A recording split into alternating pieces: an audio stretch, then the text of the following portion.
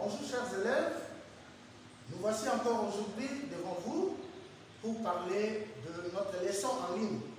Comme d'habitude, nous sommes en confinement. Euh, restez à la maison, lavez vos mains, observez tous les gestes barrières. Aujourd'hui, nous allons parler de l'orthographe. Le rappel concerne l'emploi de son et son. Il y a un exercice, mais son ou son. Numéro 1. Malika dort dans son fauteuil.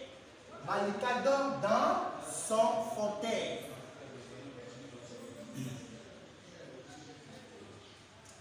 Son visage et son cou sont propres.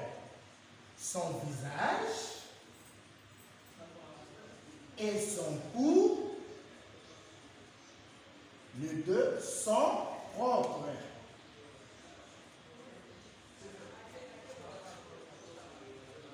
Ça, on en a déjà parlé, l'emploi de son et son. Vous connaissez la règle, revoyez votre cahier numéro 3. Observez. David a un stylo à la main. David a un stylo à la main. Qu'est-ce que vous remarquez dans cette phrase? Il y a deux mots. Il y a A sans accent et A avec accent. A sans accent, c'est le verbe avoir conjugué au temps présent, le temps maintenant, à la troisième personne du singulier.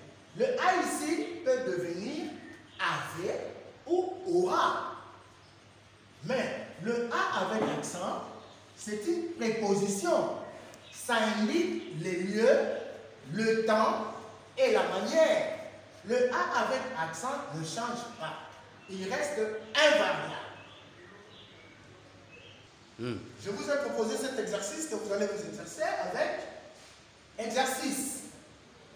Mais A ou bien A. Numéro 1. Ma mère a un bébé. Numéro 2. À 13 heures, la classe finit. Numéro 3. Elle n'a pas peur. Numéro 4. Chacun a son cartable. Numéro 5. On vend des timbres à la poste. Merci beaucoup pour cette journée.